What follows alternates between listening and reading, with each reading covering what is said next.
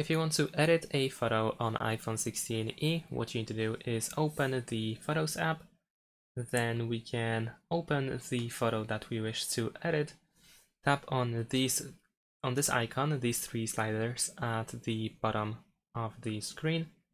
And then we can find a bunch of different options. If it's a live photo, then you have the preview of the live mode. So we can choose the key photo we can of course make auto adjustments over here, or we can adjust the exposure, brilliance, highlights, shadows, contrast, brightness, black point, and so on and so forth. As you can see, lots of different options. We can also go to filters in order to immediately apply a certain filter. You can also adjust the strength of that filter by moving on this slider at the bottom. You can also crop the photo pretty easily you can drag by these corners in order to resize that photo.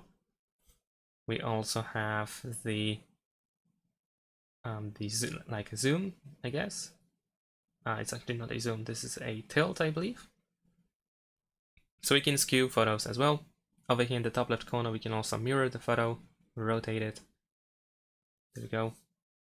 And also use a crop based on one of these sizes.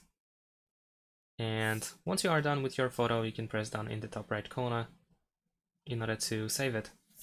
And that's pretty much it. Thanks for watching, leave a like and subscribe to my channel and see you in my next videos. Bye!